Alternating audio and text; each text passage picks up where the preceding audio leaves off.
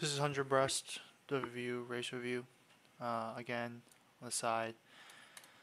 Gustro counts and tempos, um, and splits. Splits were a little bit off, um, as in like my timing, because I can know I was 26.3 and then 8.9.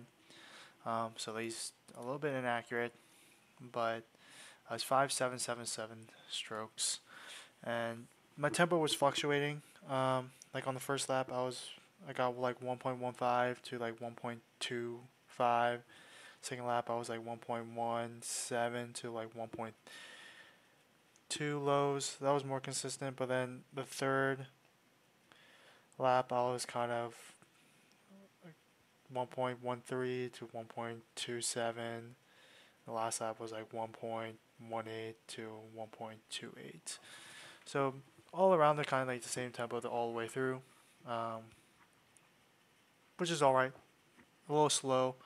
I gotta bring that down closer to 1.0, 1.1, but coming off of train camp, that's alright. We know what to fix.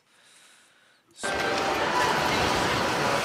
just off of that, um, just looking at the start, like, this is one thing I do want to fix because I think the entry point is where I, I'm creating a lot of drag, which probably kills a lot of my power off the start. Is you can see my feet kind of smack. I'm kind of entering in like kind of flat. So, so entering in, and then as my body like falls into the water, like the hole keeps falling more and more back towards me. If that makes sense, and I end up smacking my feet right there. Um, so maybe getting a higher angle, lifting up the back leg more to get a steeper angle onto the water could possibly do that. Or um, I think another limitation I have is just the back extension through my thoracic side.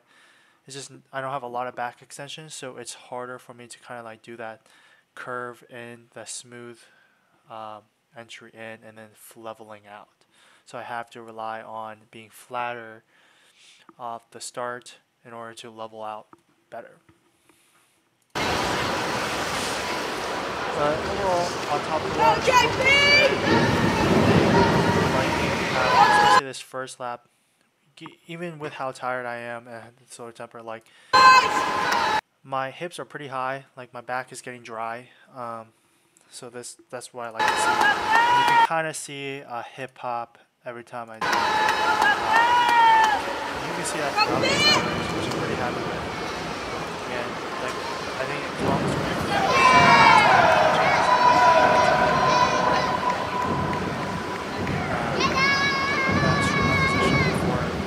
back. Of my torso is more like a lever. As my head goes down,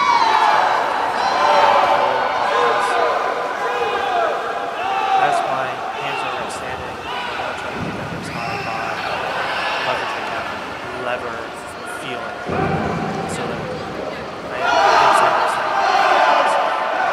I'm not able to show a clip of like what I used to do and what I wasn't um, and what it is now. But we'll look underwater um, and look at check out the tempo and not the tempo, the the timing. So I think let's let me look. Yeah, I'm third from the bottom, so I'm like right there. Is a little hard to see on the first 25, so we'll skip to the third.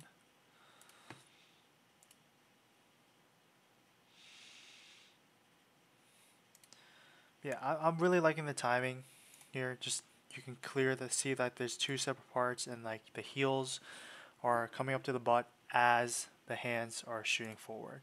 That's what I'm shooting for in that race. A small clip about it. Um, let's see if I can kind of see what I was talking about. Yeah, trying to keep the hips high, like kind of in the high as my hands extend, um, because oftentimes um, they'll drop. Let me see if I can find a clip. I know one of these is a clip of that. I think it's this one.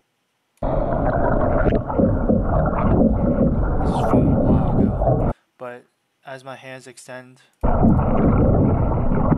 see the hips are kind of low. You want to try to get that a little higher and then head the head down so the torso's leveling out more. Um, yeah. Again, solid swim 55.